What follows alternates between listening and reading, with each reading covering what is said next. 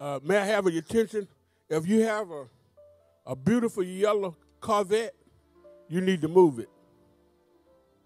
Yellow Corvette got California license tags on it. You in the passenger spot. You need to move it.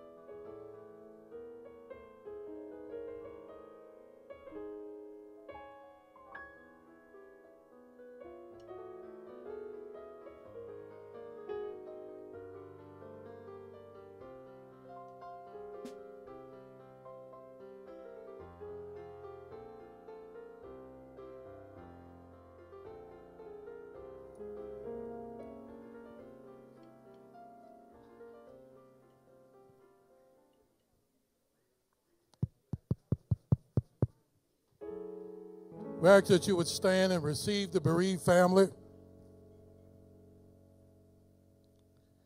Now, this I say, dear brethren, that flesh and blood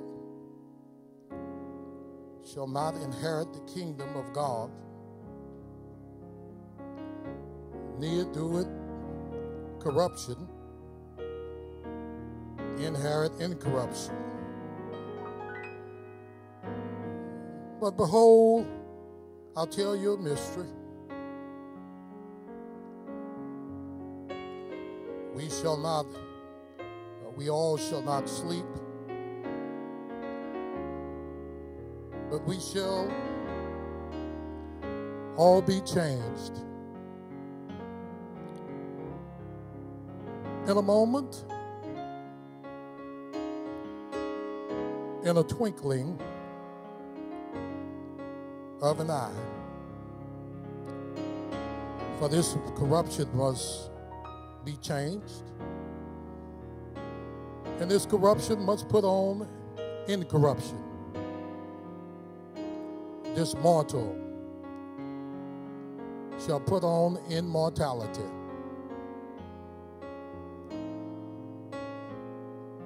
But when this corruption have put on incorruption, and this mortal have put on immortality,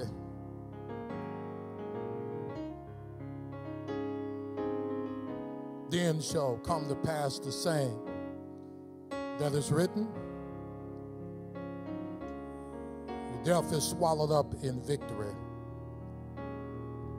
O death, where is thy victory?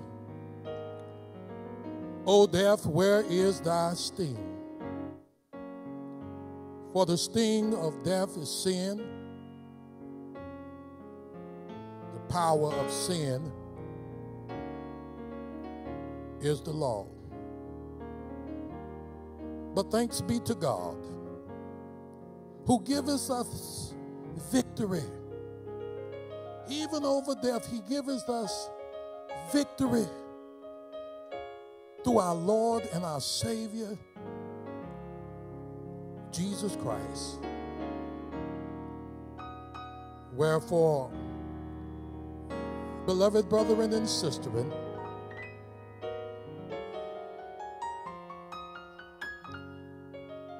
be ye steadfast,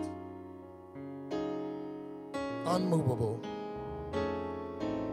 always abounding like Brother Frank did in the work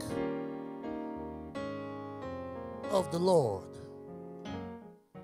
For as much as we know that your labor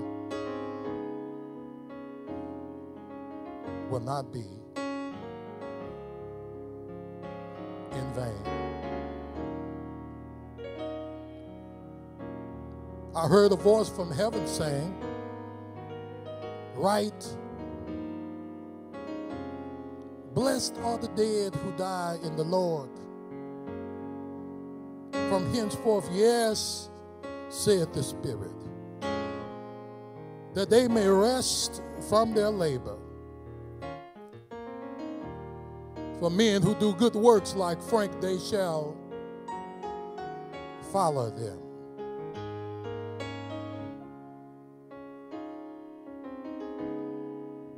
For the Lord is a, my shepherd, and I shall not want. He maketh me to lie down in green pastures. He leadeth me besides the still waters.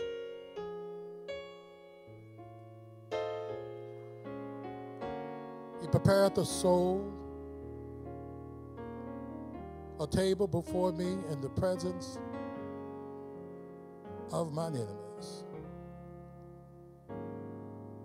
He anointed my head with oil.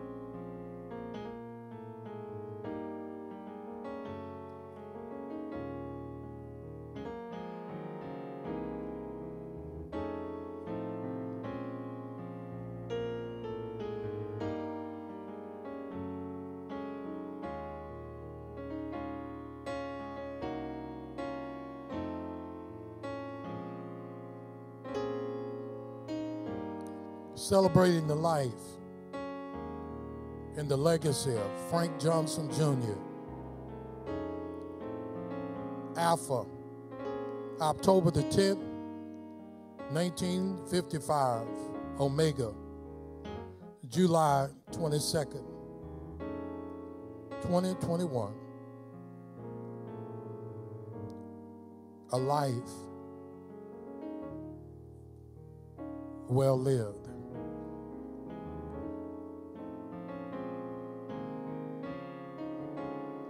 Pastor Randy Harris. I will be your officiant for the service today as well as your master of ceremonies. And prior to us having our crowning ceremony, let me just give everyone some instructions. Uh, this family has been through a lot, and we don't want to belabor this program. But at the same time, we want to give Frank his due diligence, and we want to celebrate his life as well as his legacy. So if you're on the program, be cognizant of the time limits that the family has graciously put on this program. If they ask you to speak, please do so in the allotted time that you've been given. If you not viewed the remains of our beloved brother, we ask that you would do so at this time because once the casket is closed, it shall not be opened again.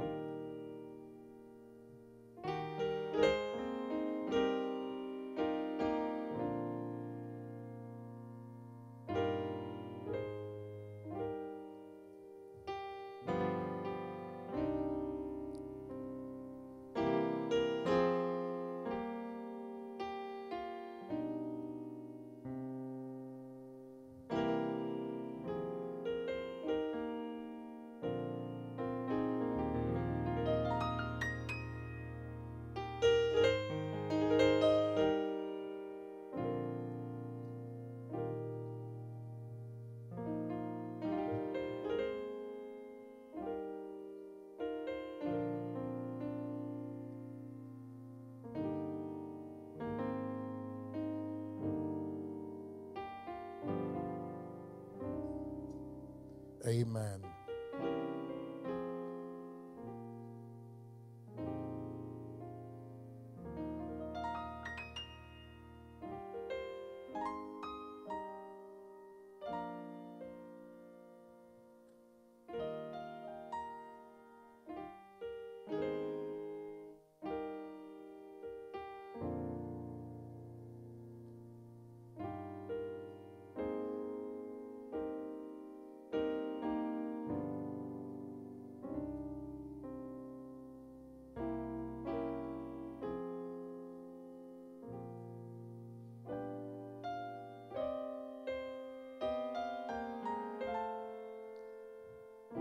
If you're coming in and you've not viewed the remains of our beloved brother, we ask that you do so expeditiously at this time.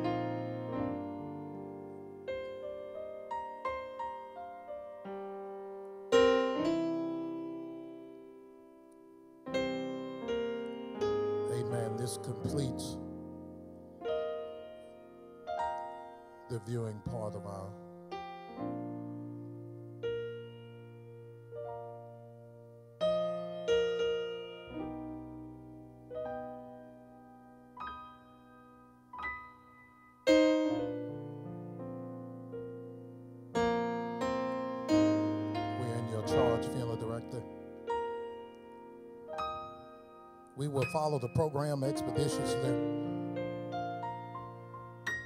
as it is prayed. At this time, we will have our crowning ceremony.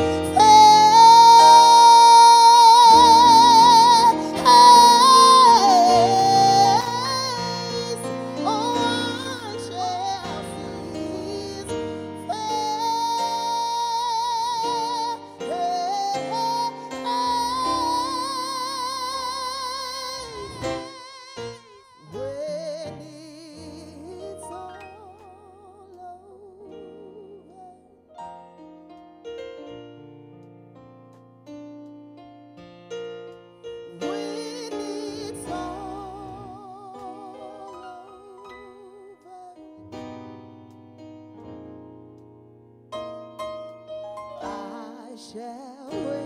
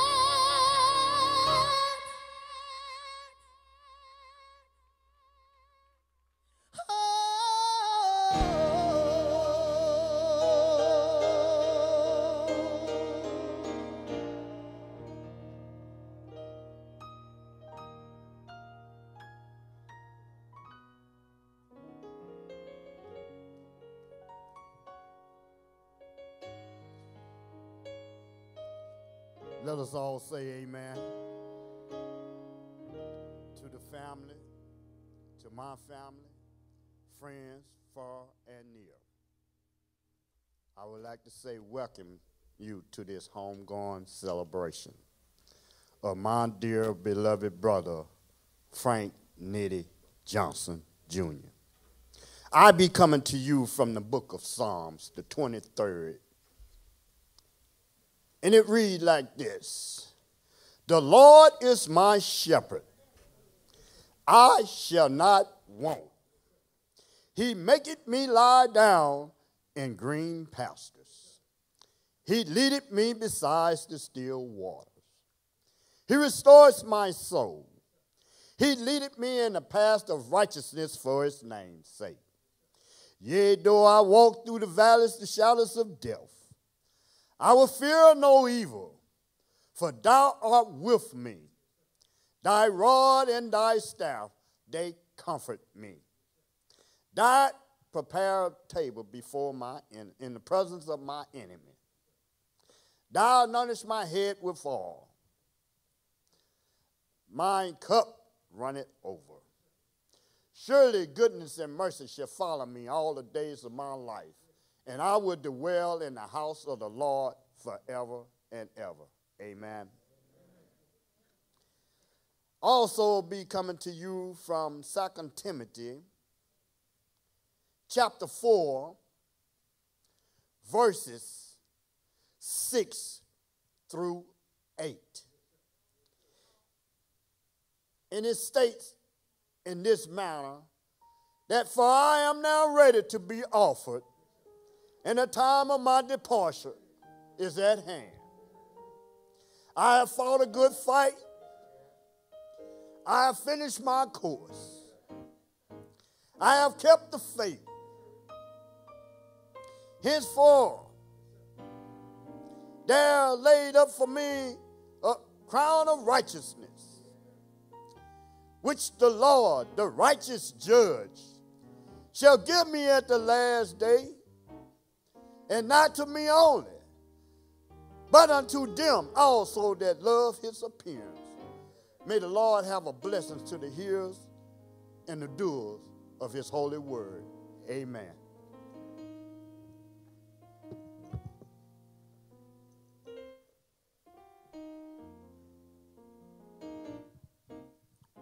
Let us pray. Our Father, our God, Master in heaven, we come humbling ourselves before your mighty hand, coming to your throne of grace. Truly, we need your grace and your mercy each day. Lord God, we owe it all to you. We exalt your name. We lift thee up, Lord, for you are God all by yourself. Lord, you are our source. You are our help all the time. God, we lift up this family right now, our family. We bless them, Lord. We pray for your comfort for them, Lord. In times like these, we need you, Lord. We need an anchor. Father, in times like these, trouble on every hand. But yet, God, you are still in control. In spite of what it looked like, Father, we know, Lord God, we walk by faith and not by sight. Lord, lift up this family that only you can do, Lord. Sometimes we don't know what to pray for, Lord. But your Holy Spirit searches our minds, Lord. Sometimes, Lord, He intercedes for us, Lord, with utterance that cannot be heard. Lord, have mercy. Strengthen us, Lord. Strengthen us, Lord, where we're weak. Build us up where we've been torn down. Father, those that are weak, Lord, Please strengthen them in their inner spirit. Help those that are strong. Help to bear the infirmity of the weak. Teach us, O oh God, to love one another as you first loved us. and you gave your only Son for us, Lord. And we thank you, Lord. It is through Jesus, Lord, that we live through him whether we die. Lord, as we go to our seat, Father, just continue, Lord God, to lift them up, hold them in the palm of your hand, Lord. Let your love be perfected in them. And Lord, when it's all said and done, Lord, we'll hear your welcome voice says, Well done. Thank you for this brother, my dear brother, my dear cousin, Lord, Frank Johnson, Lord, who have touched so many lives. Lord, just strengthen their family in a mighty way. In Jesus' name we ask and we pray. Amen.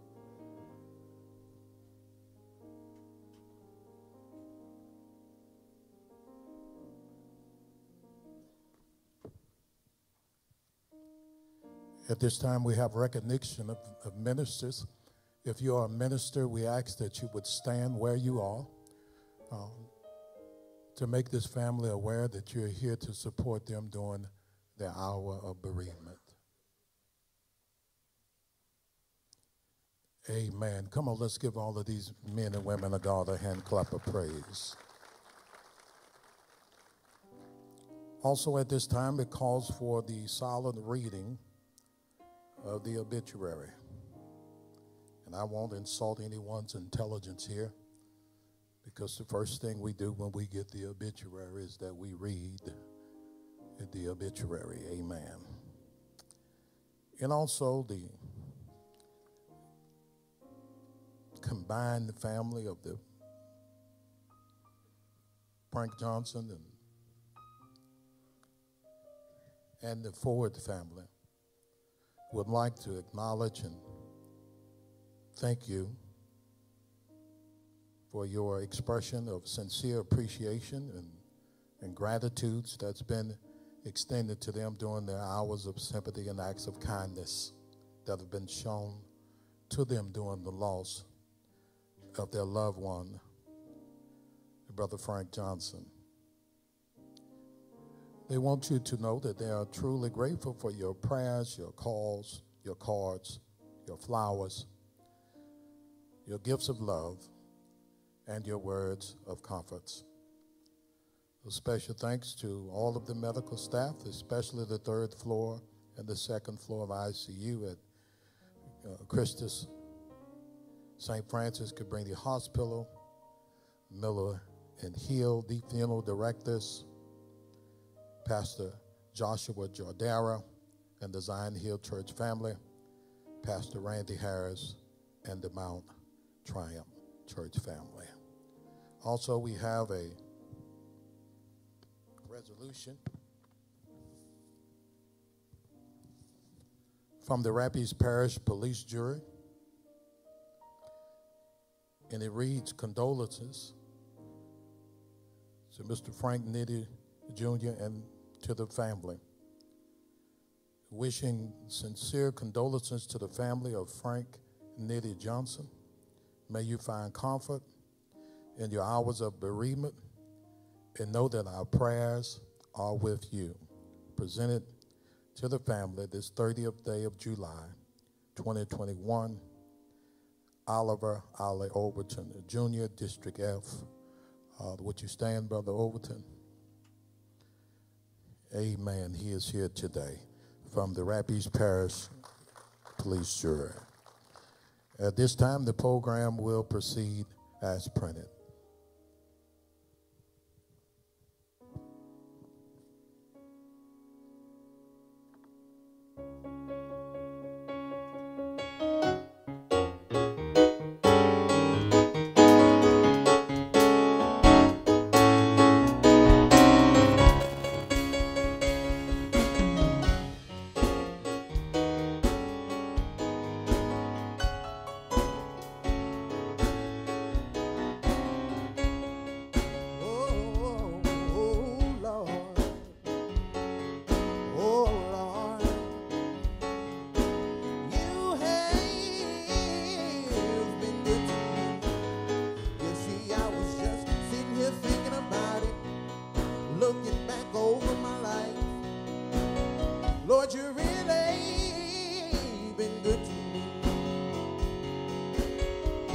was down.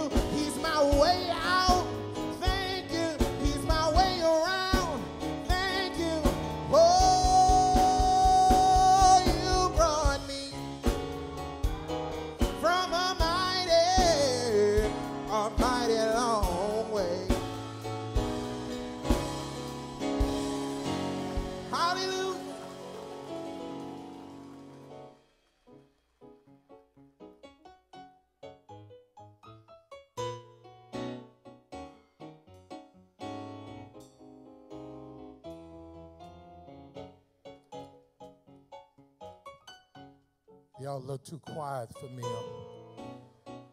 If you knew Frank Nitty, Frank Nitty made noise. He had a thundering voice. When he went somewhere, he celebrated where he was, and everybody knew that Nitty was in the house. So y'all a little bit too quiet for me in this place. Come on, let's thank him. I know it's hard, but but we can still thank him.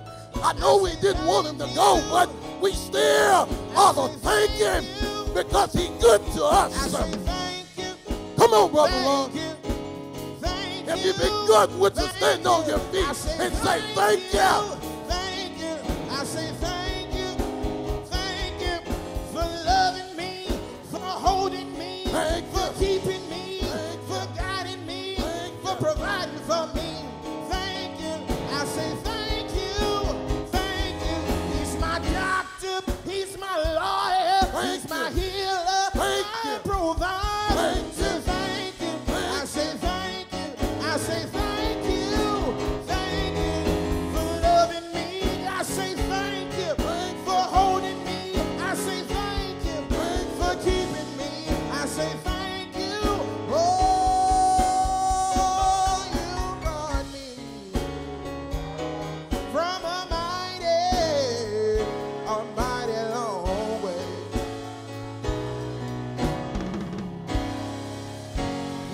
Give God a hand clap of praise in this place.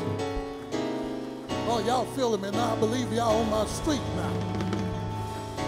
Mhm. Amen and amen.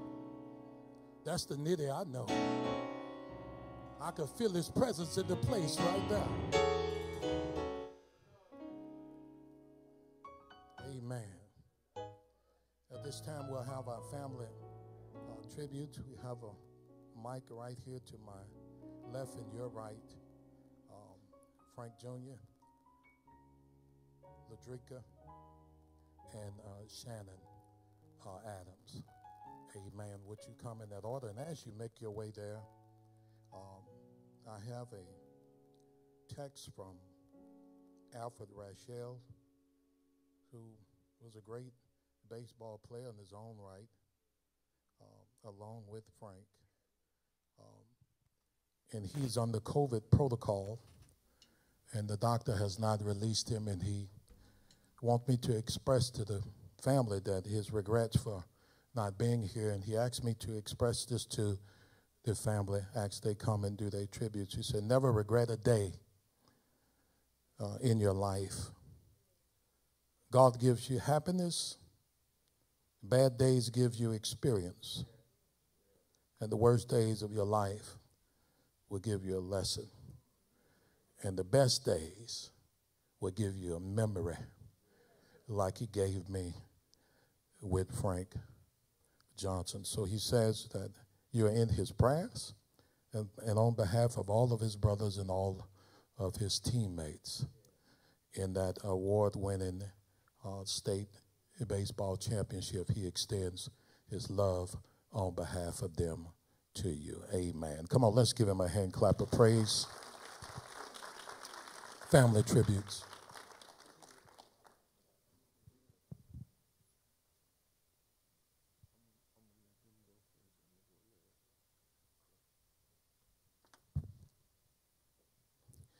Amen. Um, Ms. Uh, Ladrika, followed by Ms. Shannon Adams, and then Frank Johnson Jr. Amen.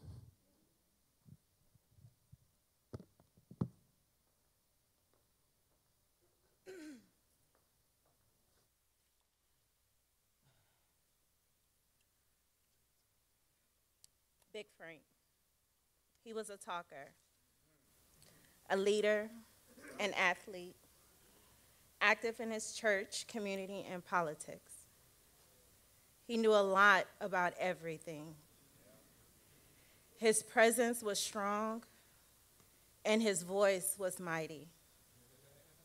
When he spoke, he demanded attention, and whatever he said was worth listening to. If you ever listen to him speak, he was a poet in his own right, versed with words and thought that all so eloquently intertwined. He could talk for hours. We could talk for hours. But what but beyond what he was and who he was to everyone else, he was a father. I watched my first basketball and football games with him. He taught me how to play dominoes and spades. He taught, I mean, lectured me about boys and the difference between a woman and a lady. He used to read my poems and my writing and told me I had a lot to offer the world. He taught me to be a thinker and listener and the power of knowledge and awareness. Growing up, he filled in my missing pieces as a father figure. I am grateful that he was a part of my foundation as well as throughout my life. Today, I celebrate Big Frank. Today reminds me that life is truly too short. Love on each other while there's still time.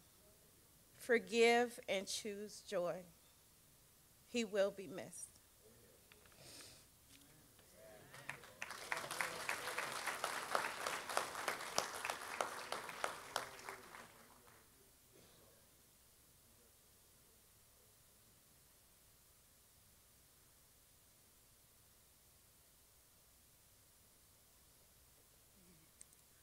Morning, saints. It's an honor to stand before you this morning. I thank the Lord for this day that He has made, and I choose to rejoice and be glad in it. I would like to honor the members of clergy, pastors, preachers, deacons, evangelists, prophets, and teachers. I thank you all for your continual, diligent labor of love and service to the children of God. Thank you for a time like this. It's, it's very, I just, I'm thankful that you guys are still in place. I'm going to take this time to honor and extend my condolences to Vera, my sister Pam. I want you two ladies to know I appreciate the example you set before us during this time of great loss. You two truly exemplified the coined phrase of a class act. Thank you, ladies. Thank you for your love. Thank you for your understanding. It really speaks volumes to the type of man that Frank was. He was a man of order. Everyone knew their place that was in his life. There was never anything to assume. He, there was always a place for everyone, and they understood that. So thank you, ladies. I would also like to extend my condolences to all of Frank's children and grandchildren. May the Lord continue to strengthen and bless you for many years to come. I stand before you this morning with the task of sharing my heart and honoring the life and legacy of Frank Johnson Jr., aka Big Nitty to most. Frank became a part of our family over 20 years ago. He was not only my brother in law, but he was my mentor and my teacher. You know, as an adult, I was taught not to discuss religion and politics in certain settings. However, politics and the Word of God were primarily me and my brother in law's longest conversations. We rightly divided the Word oftentimes over the years, and we enjoyed it. He was not only a hearer of the Word, but a doer of the Word as well. Many scriptures come to mind when I think of my brother in law, like Matthew 16 24 and 25. Then Jesus said to his disciples, If anyone desires to come after me, let him deny himself and take up his cross and follow me. For whoever desires to save his life will lose it, but whoever loses his life for my sake will find it. For what profit is it a man to gain the whole world and lose his own soul? Or what will a man give in exchange for his soul? I can tell you many times I witnessed people bringing monetary offers to my brother in law to sell out. He was only sold out for Jesus. That's the only sellout he was. He was a great mentor. He was very important to our community. Very rich, like Ladrika say, full of wisdom. And I was blessed enough to get him in my later years. And he taught me so well. And I thank God for him.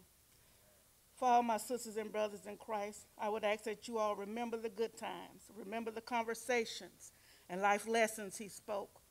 If you were ever privileged enough to hold a conversation with him, I'm sure you experienced one full of wisdom, knowledge, love, and understanding. Know that Frank had received the Lord as his personal Savior. Know that he fought the good fight of faith. He finished his race and he kept the faith. Thank you for that beautiful crown. It was the only thing that I asked for in this ceremony because it was well deserved. And as beautiful as that crown is, I know it's nothing in comparison to the crown of glory that God will be placing on my brother. There's one impact scripture that I have here that comes to memory most of all. And I know Pastor can attest to this. Let him who is taught the word share in all good things with him who teaches.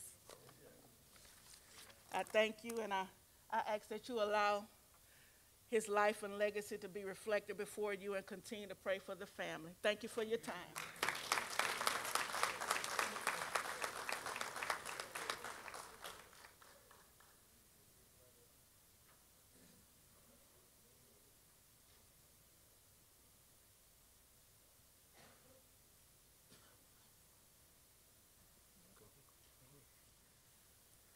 Good morning, everybody. I came up here, uh, my brother tagged me in, put me in the game. um, my name's Diamond, and I was, um, Frank was my father. Um, and I don't, not gonna take up time, just wanna thank everybody. Thank you Mount Triumph family. Thank you to Zion Hill family for allowing us to be here. Um, and um, thank y'all so much. And keep us in your prayers. And if you think about us over the next coming weeks or months or whatever, don't um, hesitate to reach out because we appreciate it. And I'm going to go ahead and give it to. Give it to y'all doing today? man? All right.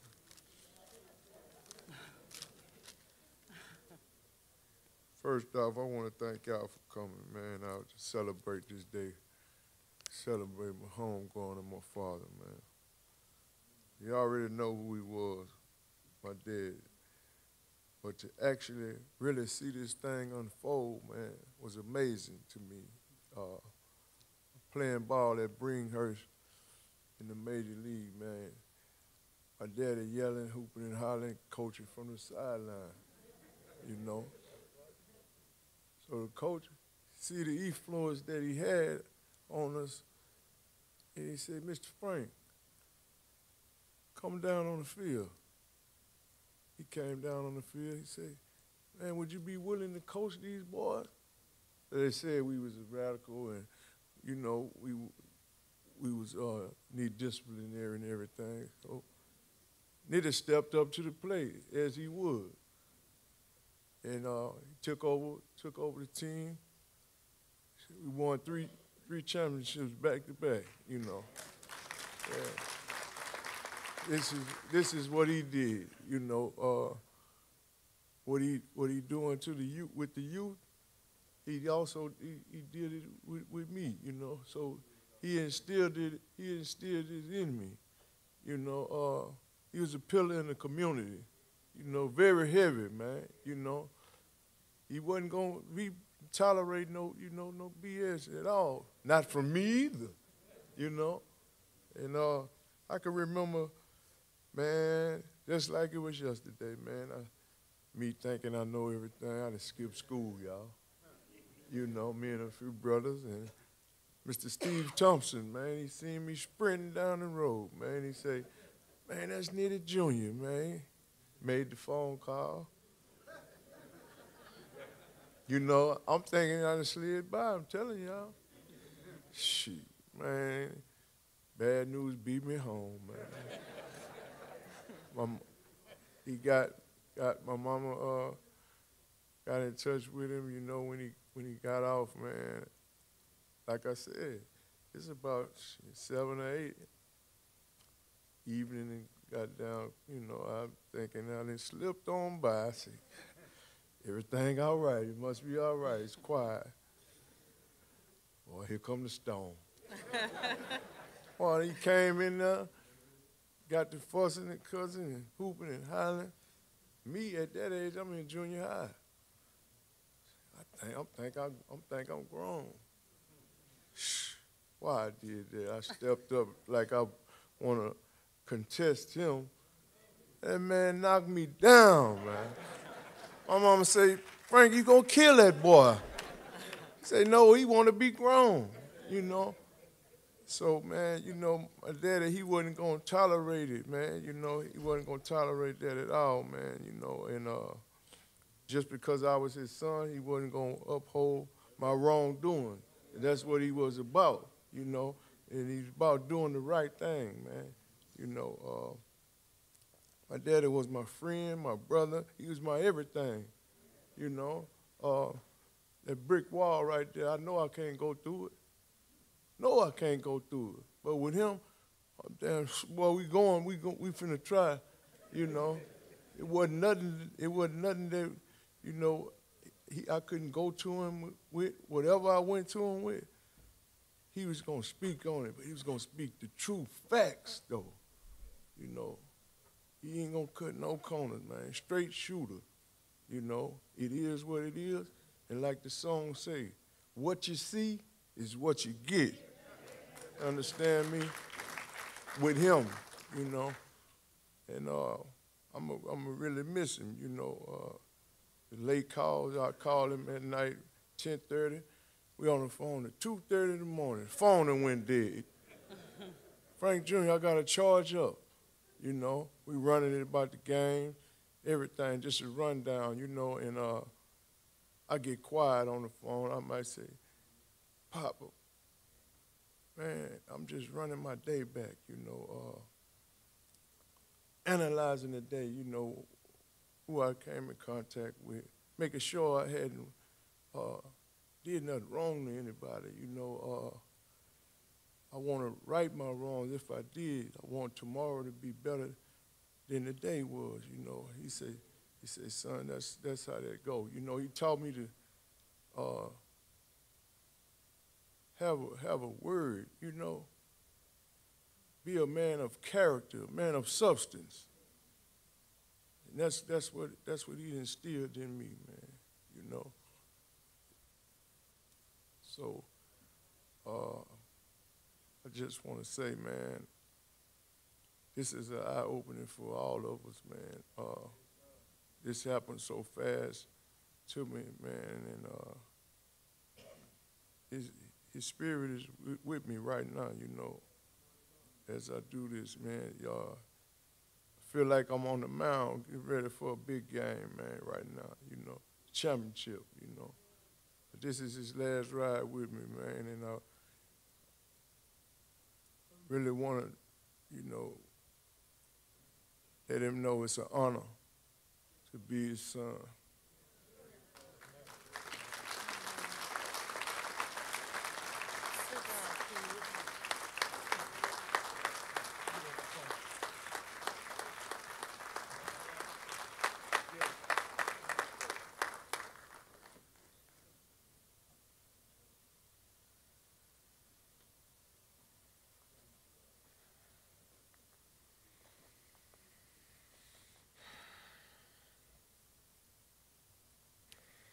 Giving all praise and glory to God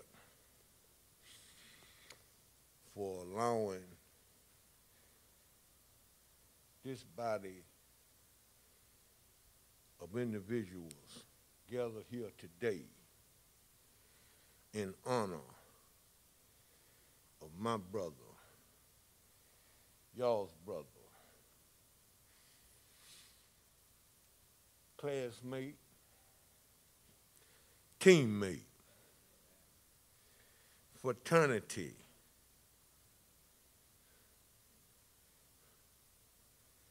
I can't leave out the special organization that we have amongst us.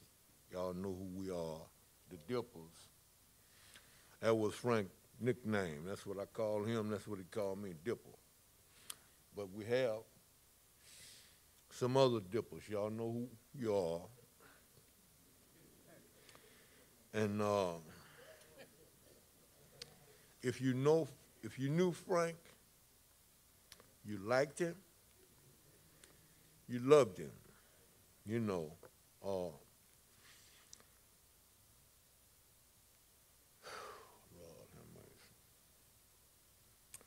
Give to everyone what you owe them. If you owe respect, then respect. If honor, then honor. With this somber occasion, we are gathered to honor Frank Johnson Sr. Frank Johnson Sr. That's Frank Johnson Jr. Uh, I loved Frank. I loved him.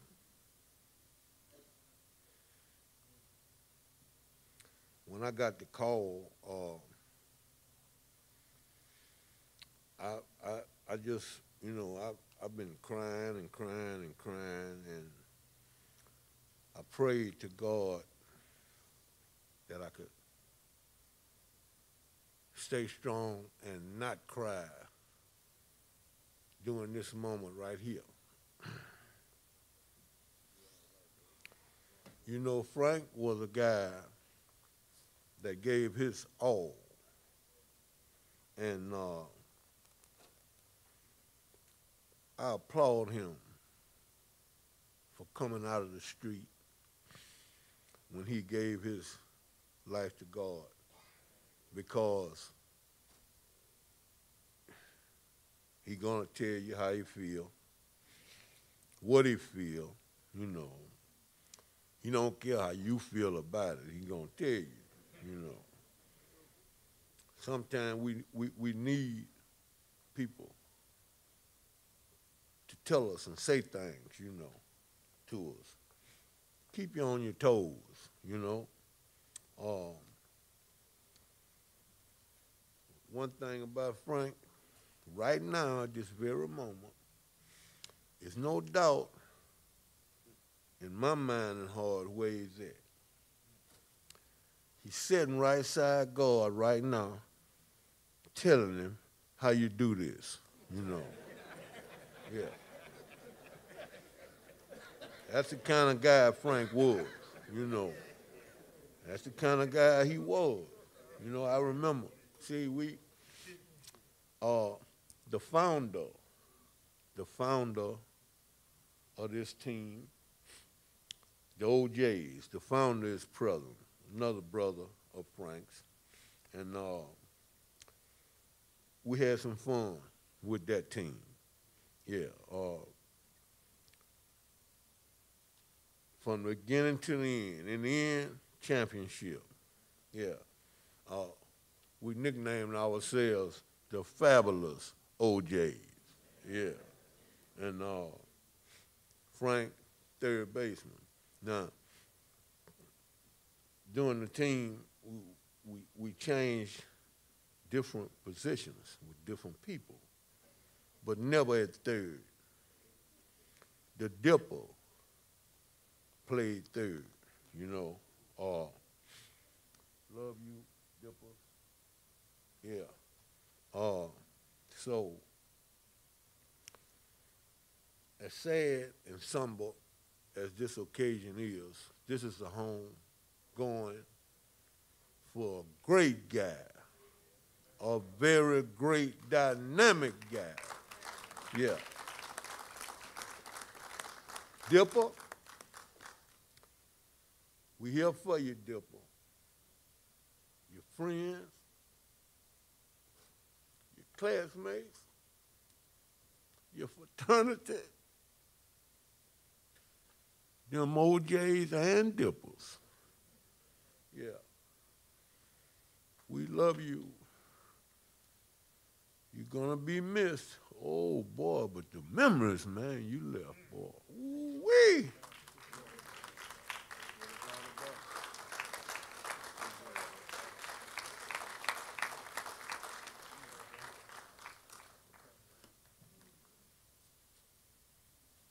God is good all the time. And all the time, God is good.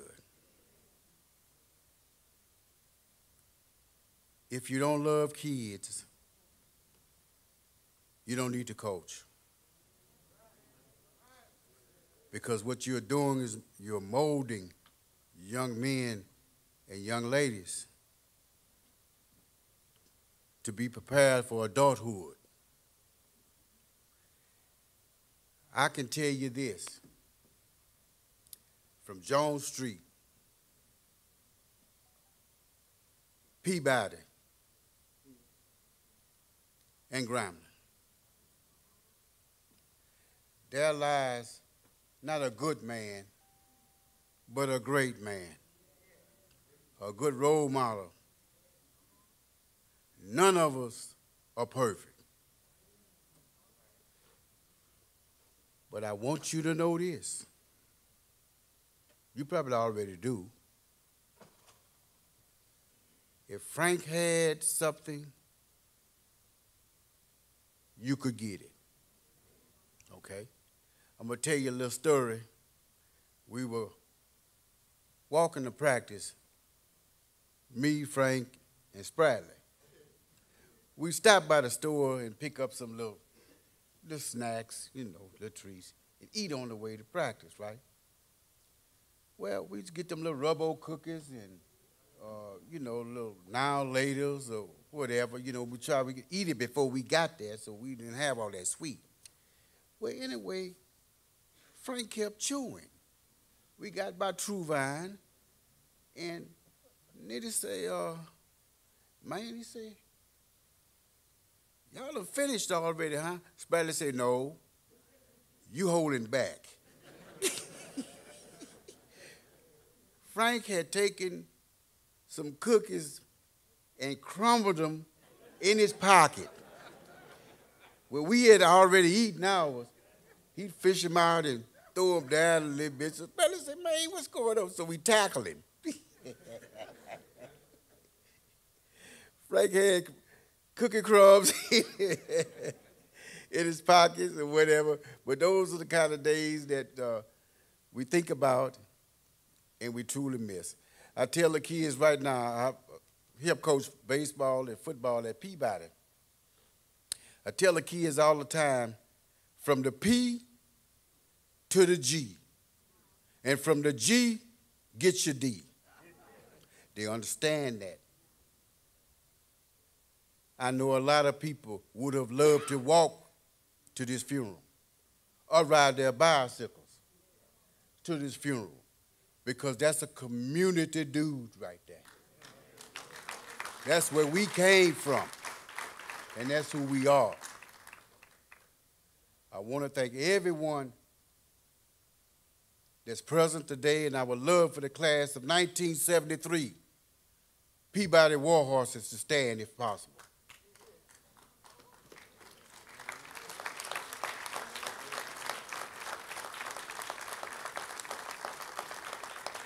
I would also like for all of the war horses and rattlers to stand.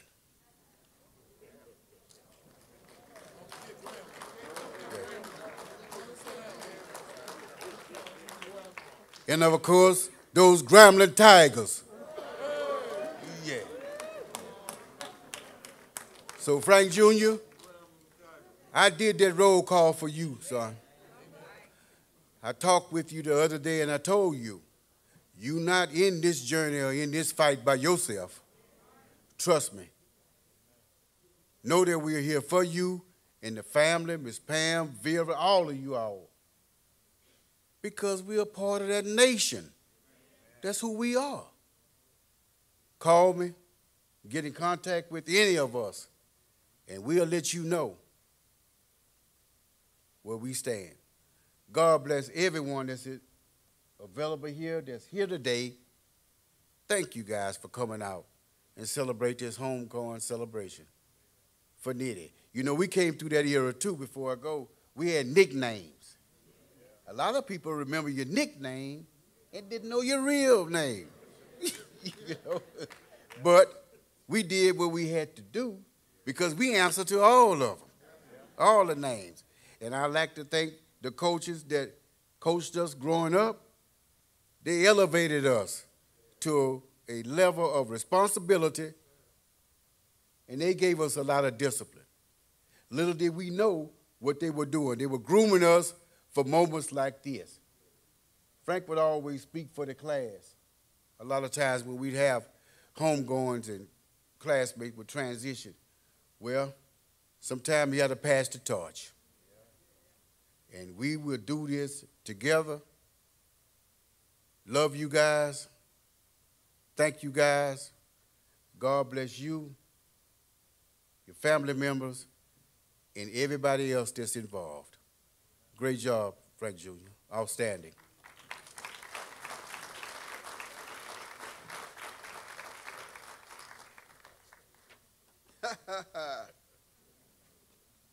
yes, indeed.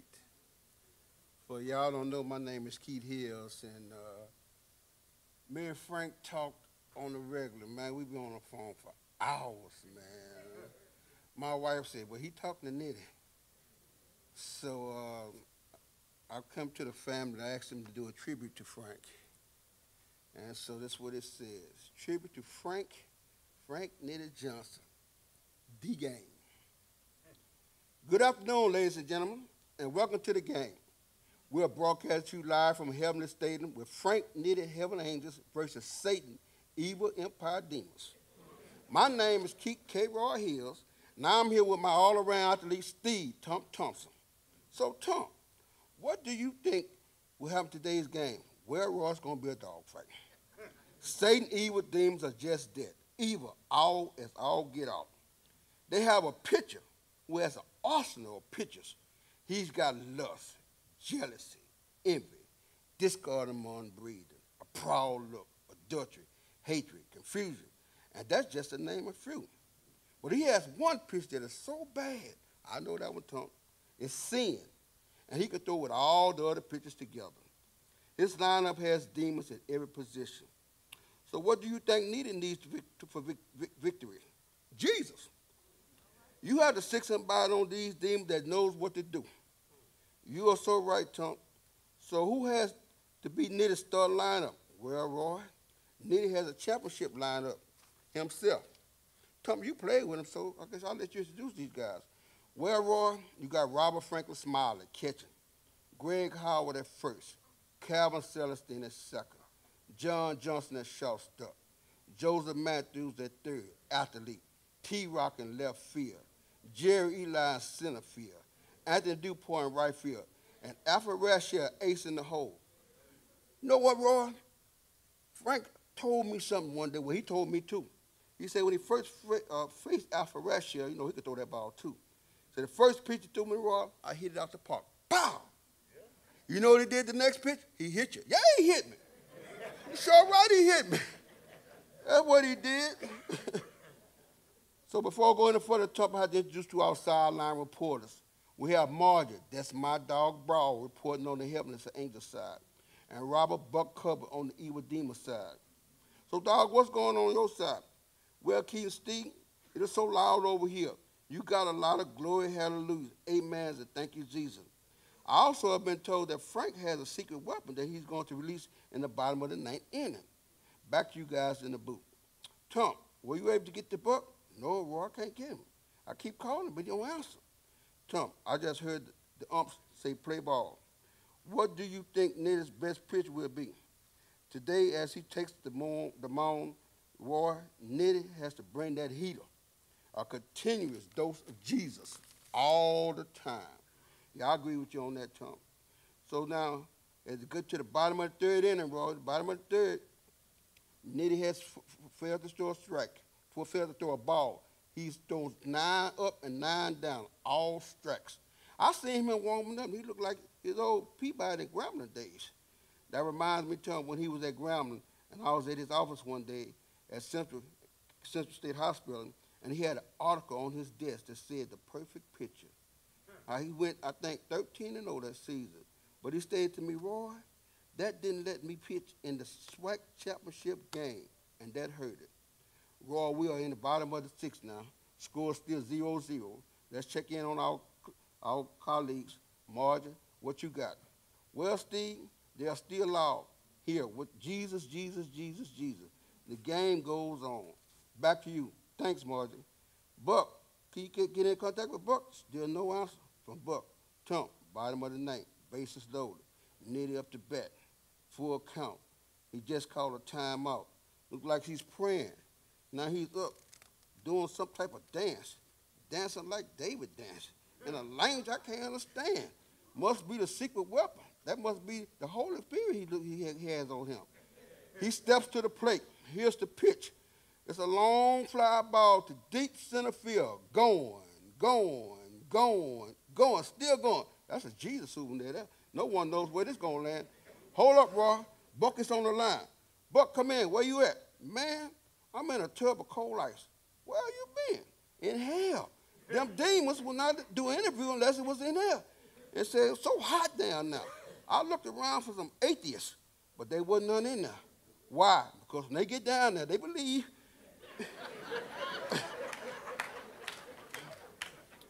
Back to you. So, ladies and gents, Frank Nitty has hit a grand slam into the book of life where he's the heavenly bound, and that concludes your ball game. Thank you.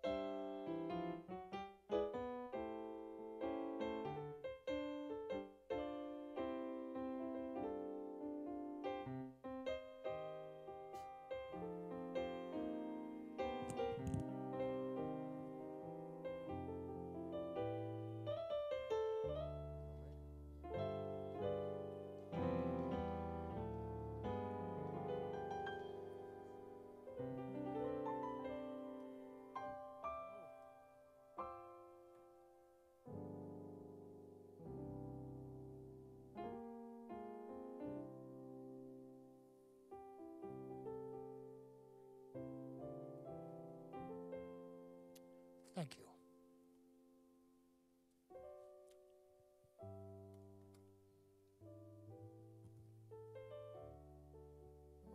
To our beloved pastor, the Reverend Randy Harris, to the bereaved family, who I consider as my family too. Frank and I was in covenant together.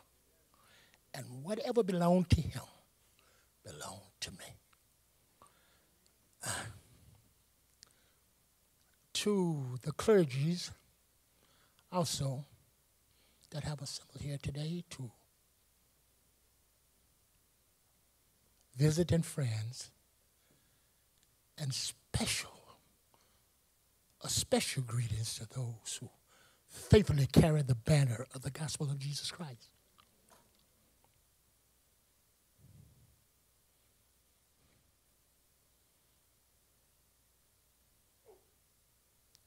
To the bereaved family, and I will address you again.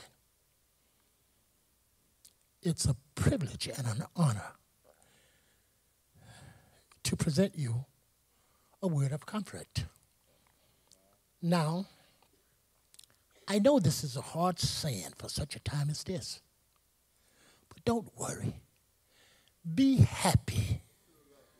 I know that's a hard saying because after Frank left, he really left what you call an void or an emptiness within me. And I know it. Also within the family and those who love them.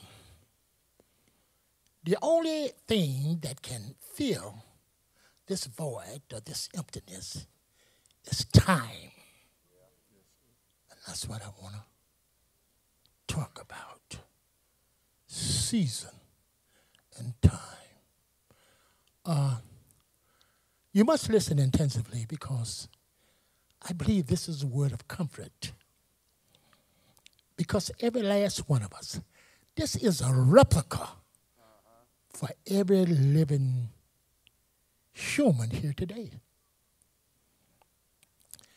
Let's look at the book of Ecclesiastes. I want to just anchor for momentarily for on these two scriptures. Hold this for a.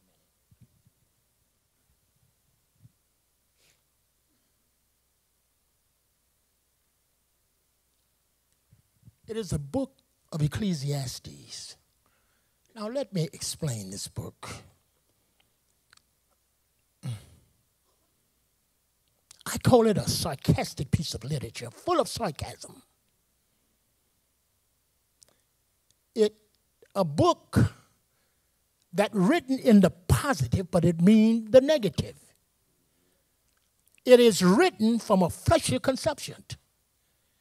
Every man, every man in the flesh will have to go through this. Solomon knew this well. So,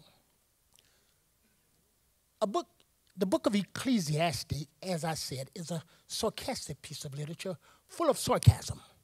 It takes all that a man can accomplish outside of God. And it put it in one lump sum and it just make fun of it. It just laughs at it. Uh, Paul described this as one who beat the wind, or one who's shadowboxing. Now, Shakespeare tells a story about a man who don't know why. Uh, this is the way he put it. Uh, it's Macbeth. Scene 5, line 25. It said, Life is but a walking shadow. A poor, play, a poor player who struts and frets his hour upon a stage. Then he's heard no more. It's a tale told by an idiot full of sound and fury, signifying nothing.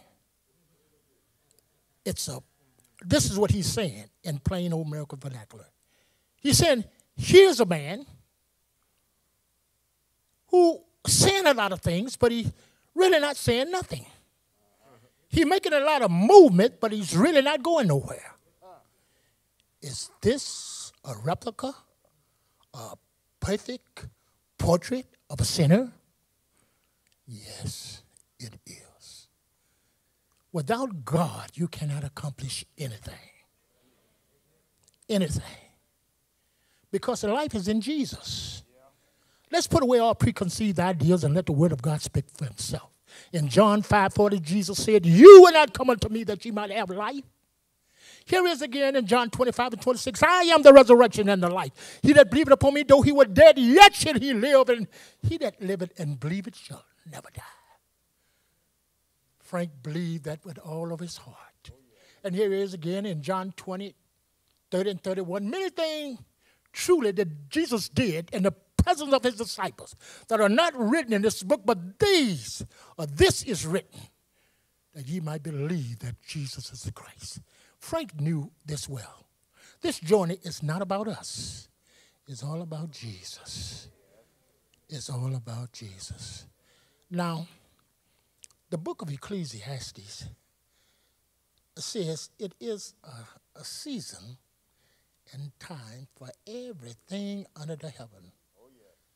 This is Frank's season. Everybody has a season in here. Every fleshly man has a season. Every fleshly man has a season. You have a season in time. Now, let me express to you what time is. Whenever I understand something, I can coin my own phrase. Listen to me. Time. The Lord went from A to Z and He put it over here. He took it out eternal and He called it time. Now, the most ironic thing about time is in time, everything changes. Nothing stays the same.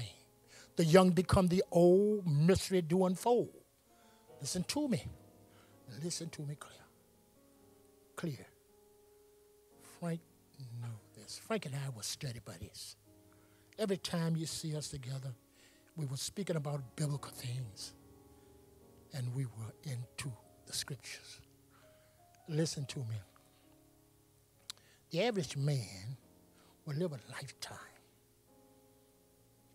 Will live a lifetime and never find a friend. But I was lucky. I didn't only find a friend, I found two friends in my lifetime. Now, a friend will stick closer than a brother. people know of Frank, but I knew his mind. Lord Jesus.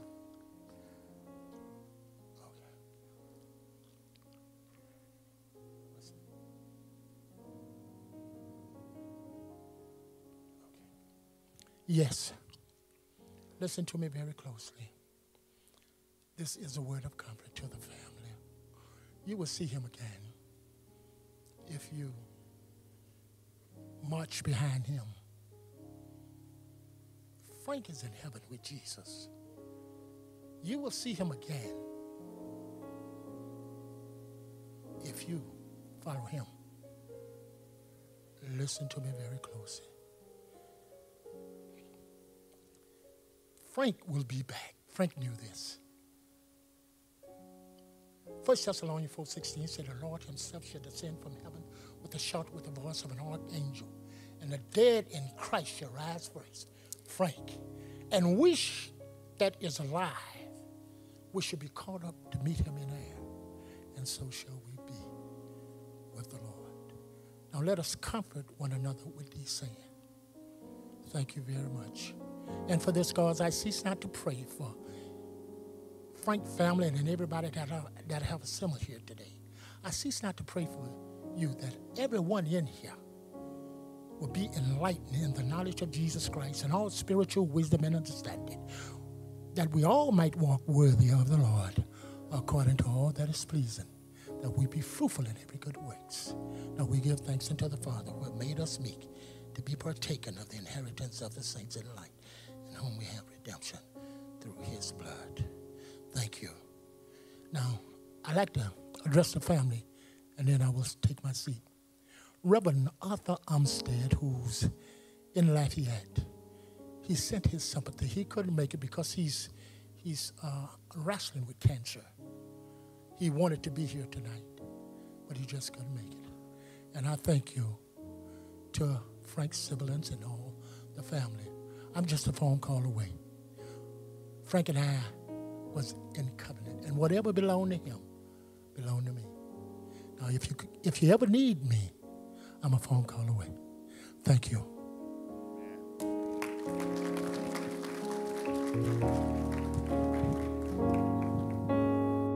Name above all names. You are worthy of our praise. Praise God, praise God. We're going to ask those that are not in the family, would you stand, please? As we prepare to hear the word from the Lord.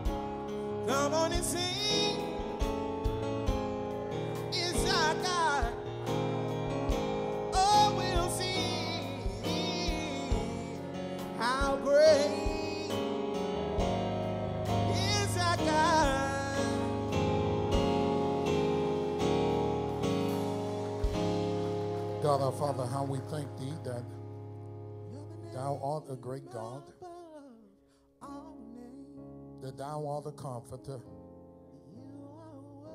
that you are a consoler,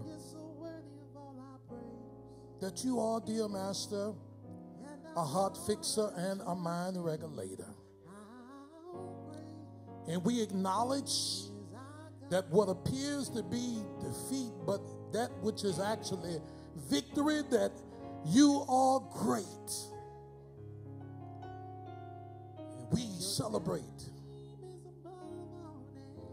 this occasion of a great man in the person of Frank Johnson. And God, we thank you for the scriptures that have been read, prayers prayed, Zion songs sang. But it's preaching time now, dear Master, and we pray that you would us within the deep depths of the revelation of this thy word. That our people might be edified, this family may be comforted, and that you and you alone might be glorified. It is in the marvelous, marvelous name of Jesus the Christ we do pray, and the people of God said together, Amen. You may be seated in the presence of our Lord. To the angel of this house, Pastor Joshua Joy Dara, to all of the reverend clergy who are here as a cadre of cross carriers, to the officers and members of the Mount Triumph Baptist Church, the class, Peabody class of 1973, the Soul Brothers. And my list is endless, but my time is not. And certainly to this bereaved family, Frank Jr., LaGreca, Tiffany, Vera, Garrett, Travis, Andrew, Diamond, the entire Ford family, and certainly last but not least to uh, Pamela Ford, who Frank called his ride or die woman. Frank said, Pastor, she can hold it down when I can't. And if I missed anyone, charge it to my head and not to my heart, especially you heard Reverend Frank, Reverend uh, Baker doing his uh, words of comfort. He, he struggled a little bit because of the affinity and the affection that he has for Frank. There was no closer person outside of Coach Bowman and, and the Baker family at Mount Triumph with Frank. To the Grambling State University alumni. Today, we come to this sacred sanctuary at this solemn hour, not to mourn, but to bid farewell to my friend, a real dude, a man who loved uh, all of his children on both sides, who loved his church, who loved to teach Bible Sunday school. A man who never met a stranger, who was the life of the party. And, and when I look at the Bible in its entirety, he reminds me of Jacob. Jacob, a man of the street, Jacob, a man of, uh, who was known as a trickster, but he wrestled with God, and God called him a prince. Before I get into my text, let me just tell you this about Frank. Y'all have heard so many stories, so I'm going to just get to the text here. Frank is the only man at Mount Triumph who made the church conference room the headquarters for Cheatham Park Athletic Association.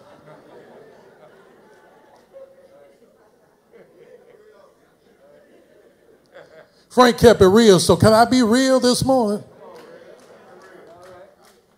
In my office, he ate up all the snacks, he drank all the coffee.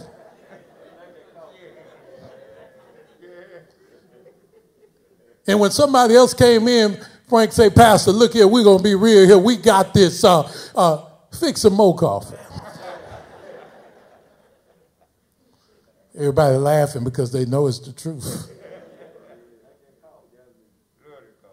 So today, while this family may be pained by his departure, you can rejoice in his destination. And though you may be wounded and weary and baffled and bruised and bereaved, you as a family in totality, both families, the Ford family, and as well as the Johnson family, you are not guilty. For if love could have kept Frank here, we would not be here today. So I publicly applaud both Vera and Pam Ford and their families. And especially Pam, and who knew Frank Nitty's fame, who knew Frank Nitty's faults, but who loved him yet the more. Frank didn't have a long funeral, so we're going to get to the text. For those of you who have your Bibles, turn with me to the book of Job, chapter 7, verse 4, where you will find these words When I lie down, I say, When shall I rise and the night be gone? And I am full of tossing to and fro until the dawning of a new day. I believe that's enough. You may be seated in the presence of our Lord. I like to use for a text to preach Frank's homegoing celebration. When will this nightmare be over? When will this nightmare be over? As a child, we've always uh, had dreams, and, and sometimes that, that, that our dreams will turn into a nightmare, only to have a mother or a father come into our room to color us, to comfort us, to console us, and to reassure us that our nightmare is over and that everything will be all right. In our text this afternoon, the question that arises uh, in the text is when will this nightmare be over? When will the tears stop falling? When will my heart stop pounding? When will my mind stop wondering what I woulda, coulda, or shoulda have done? When will the lightning of my soul stop flashing and the thunder stop roaring within me? When will my head stop hurting? When will this nightmare be over? For those of us who are familiar with the text and the book and the, and the man that, that bears his name, Job, we are certain that when Job is writing this text, he, he, his, his mind is in a nightmarish situation. For you see, Job, uh, Brother Frank, he, he finds himself in a throes of a plethora of problems. He is beset by one calamity after another. He finds himself unable to eat a bite, unable to sleep at night. He finds himself tossing and turning through the night and waiting uh, for the dawn of a new day. He finds himself in a nightmarish situation. Oh, let me tell you this here. You can have a nightmare at noonday. When, when, when, when the doctor comes in and says there's nothing else that he could do, and you're there with your loved one, you are in a nightmarish situation. When death comes and snatches away the person that we love, that, that we look up to, that we admire, and it appears as though we are robbed of our opportunity to say goodbye. We are in a nightmarish situation. You see, Frank loved the Lord. Frank was a man who, who could converse with, with kings and governors and, and at the same time get on the letter on the level with a gangbanger, a thug, and a hoodlum, and both of them would listen to him because he had street creds, he had book sense, he most of all he had the spirit of the Lord, and he knew how to get along with Lottie, Dottie, and everybody. You see, Frank loved uh, God. He loved Mount Triumph. He loved his pastor. He loved teaching Bible study. He had a thing with Coach Bowman. He, he would tell me all the time, he said, I would never be the person who I'm supposed to be. Had Coach Coach uh, uh, Bowman not intervened in my life. You see, all of us, we play church well. We put on a face and we smile when our heart is broken. But with Frank, I, I think Frank Jr. said it best what you see is what you get. But even when he found himself in a nightmare situation, he, he, he understood that if I could just hold on to God's unchanging hand, God will make a way somehow. And, and I, I commend this family to the Lord. I Jesus to you. I'll tell you that when all of this is over, you will have your moments. You will have your time. You will be driving down the highway one day and tears will start falling from your eyes. You will drive to where he used to live one day and you'll pull up to the address and say, Lord, what's wrong with me? My daddy is gone. How can I tell you? Because I've sat where you sat.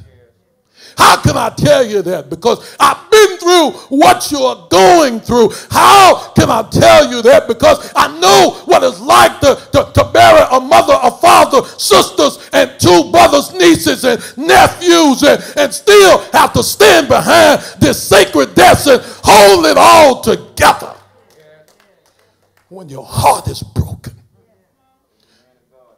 I know about nightmarish situations. And you see, you see, you see, uh, Job, Job, he was in a nightmarish situation. Job, he was in a situation whereby everything that man counts worthy and gives him a, a stain, Job lost them all. The Bible says he had 7,000 sheep gone, 7,000 camels gone, 500 yoke of oxen gone, 500 she asses gone, his magnanimous reputation and odds gone, his health and his wealth is gone, even the affection and the affinity of a wife was gone. And Job still fell to his knees even after he lost 10 children. And he said, The Lord give it, the Lord take it away. Blessed be the name of the Lord. Oh, I got a question for you this morning. Will you still worship him when you want it? Will you still give him praise when your heart is broken? Will you give him praise when you say, Save daddy? And God, in his infinite wisdom and his divine sovereignty, decide to take him anyway. Can you still say, Bless the Lord, oh my soul, and all that is within me? Bless his holy name. See, that's the type of faith that Brother Frank had. You know, Frank, like Job, knew what it's like to love and to lose. But most of all, through it all, he trusted and he believed in God. And most of all, and I'm going to give you these two things and I'm out of here. We done. Frank understood, number one, the reality of death. Secondly, he understood the rudeness of death. And finally, Frank was ready for death. The reality of death. You see, Reverend Baker, death is a reality. We are here today, and old folks used to say, We're gone tomorrow. But the fact of the matter is, we are here today and we are gone today. Death is a reality. We all will die. Some way, someday, we all will be rolled in here on time and somebody will view us. There's 7 billion people right now on planet Earth. And when a hundred years roll around from here today, nearly all 7 billion will be gone. Why? Because you see, what we call dying it's really God telling us that what we call dying to God is merely our spirits changing, addresses moving from earth to heaven. And God has many exchanges and transitional purposes in order to get us to Him. Translators, if you will, according to Alexander Pope, he said that God sometimes uses cancer, sometimes He'll use high blood pressure, sometimes He'll use car wreck, sometimes He'll use a stroke, a heart attack, and COVID 19. But we will all transition someday, some way the butcher, the baker, the candlestick maker, John Doe, and the CEO will Every minute, 60 people die. Every minute, 60 people die. Every hour, 3,600 people die. Every day, 86,400 people die. We are dying every day, and death is a reality. And, and like the Apostle Paul, uh, uh, uh, Frank understood to be absent from the body is to be present with the Lord. Frank understood that we all have an appointment with death. You see, down here we can reschedule all the appointments we want when they don't fit into our time and purpose. But when death comes, knocking on our doors, that's an appointment that we could not and cannot reschedule. You see, before Frank was ever born, God knew how he would die, when he would die, under the circumstances in which he would transition and go to heaven. I can see the death as a reality a little better now. But secondly, there's a rudeness of death. You know, nature has its seasons spring, summer, winter, and fall. But death, it can come at any time.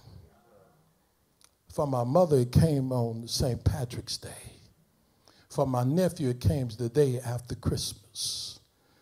Death can come on your birthday. Death can come in Thanksgiving or Christmas. You see, why can it come on those unexpected times? Because death takes no vacation. Death has no holidays. And that's the rudeness of death. It's rude because it does not give us warning. You heard one of the family members say it was unexpected.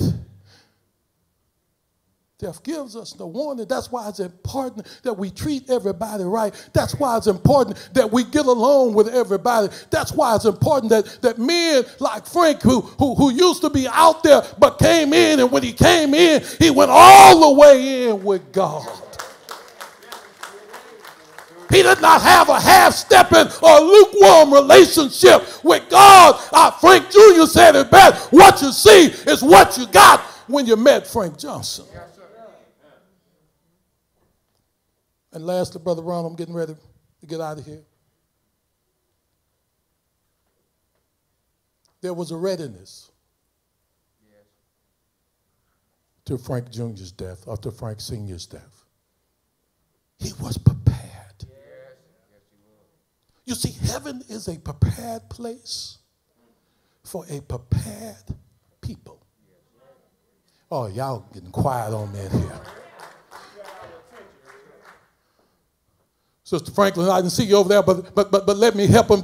He says that heaven is a prepared place for a prepared people.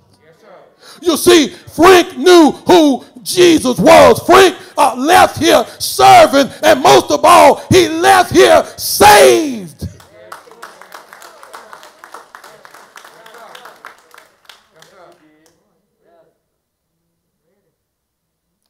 Let me tell you this, and I'm going to take my seat. Frank followed Jesus. He didn't follow nobody because how much money they had. He didn't follow nobody or respect nobody for what kind of creature comforts they had. He followed Jesus.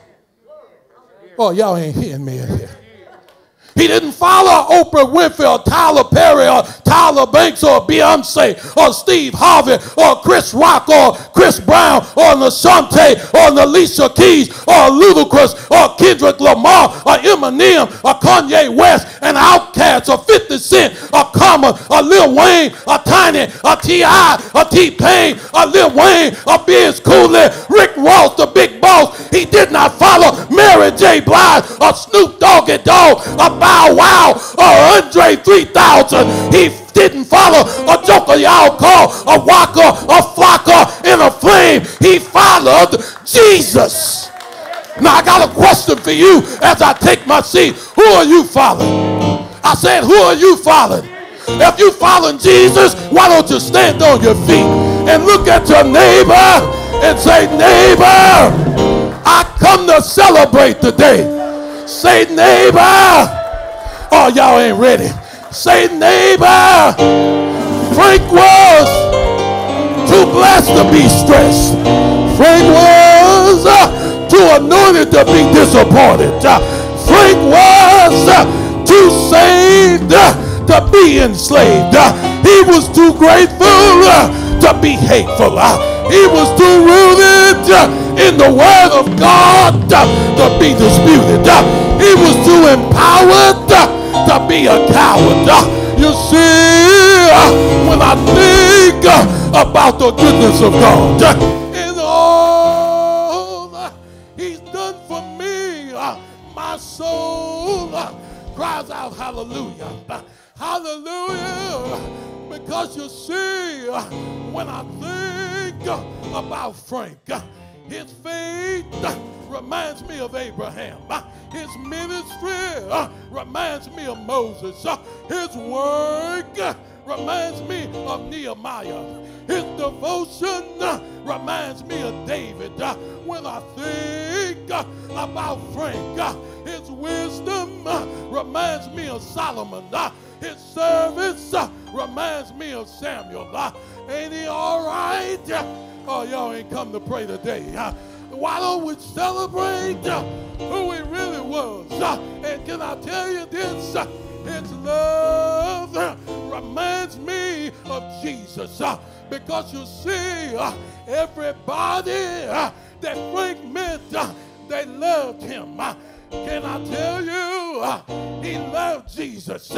Do you love Jesus like Frank did? Do you know him? Uh, what's his name? I said, what's his name? Uh, His name uh, is Jesus. Fire can't burn him. Numbers can't count him. Water can't drown him. Answers can't agony him. It's bumps and bruises, but his name is Jesus. Give the Lord a hand clap of praise. Let me tell you something about Frank Nitty and I'm gone. Frank Nitty believed that Abraham was Adam's friend. He believed that Jesus was Noah's Ark. He believed that, that God would take care of him, not just in this life, but in the life to come. He believed that he would say, Reb, you know, you preach sometime, and he said, Reb, when I fall, I know Jesus gonna lift me. When I sin, Reb, I know he gonna forgive me. When I'm weak, I know he gonna strengthen me. He said, when I'm broke, he's my treasure chest. He's my priceless possession. And I just want to say to this family, Frank Jr., I know he's proud of you. If some pre- some sermon as a pastor you're preaching is very hard because you're grieving yourself. When I would be on the highway, driving back from visiting a sick member in Houston, getting back two o'clock in the morning, getting sleepy on the road. I'll get a phone call and I'll look down at it and all I could do was, was smile. He said, Pastor, what you doing, kid? Said, I know you're on that road, man. I'm calling to check on you. And y'all done heard it said so many times here. Frank will stay on the phone. He said, Man, I know you're tired. You've been running all day. You always have everybody else back, but I got your back. And he had everybody's back. He looked out for everybody. He would take the little that he had and he would give it to everybody. Do you know that these seats, these streets are much more dangerous because Frank Johnson is not there because he had baseball fields, he had basketball camps, he gave all that he had.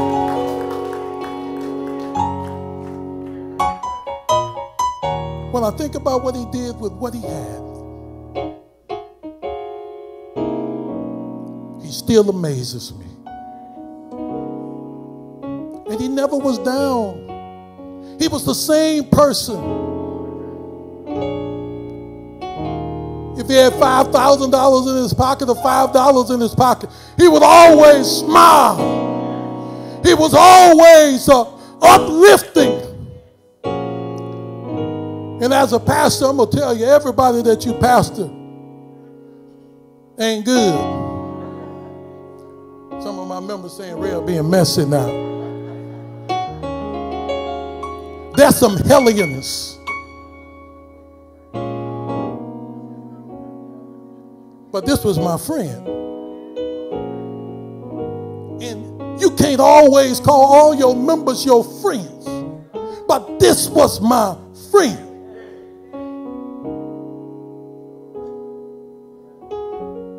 We never had a disagreement. Never passed a word. What a joy it is to pastor people. So many people take and they take and they take and they take. And Frank was different because he poured and he poured and he poured until nothing was left of himself.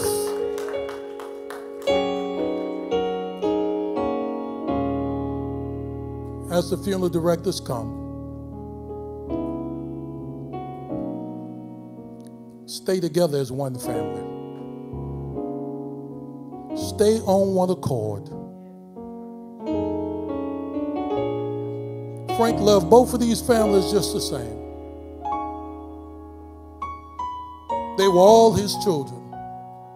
Whether they were biological or not, they were his children. And not just these children, but in the city of Alexandria and throughout Pineville, all of them were Frank children.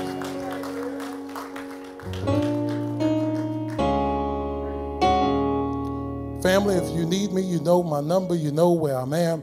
Uh, the Mount Triumph Baptist Church stands ready to assist you.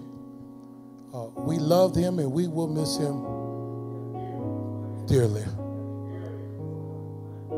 Thank you and God bless you and you in the hands of our funeral director.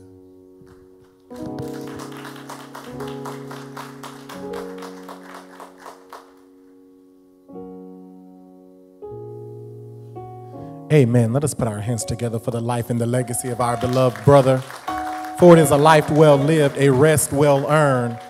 Family, just know God makes no mistakes, and if you hold to his unchanging hand, he will see you through. At this time, we are preparing to journey to the Mount Triumph Baptist Church Cemetery here in the city of Pineville. We're going to ask those of you that will be driving your personal vehicles to drive with your headlights and flashers on and do drive with caution at a safe but close distance. We will be escorted out by our ministers. After the ministers, it will be our pallbearers. After the pallbearers, it will be our beloved family. Uh, after the family, it will be all those friends that have come to celebrate life today. At this time, let us all stand in prayer to recess.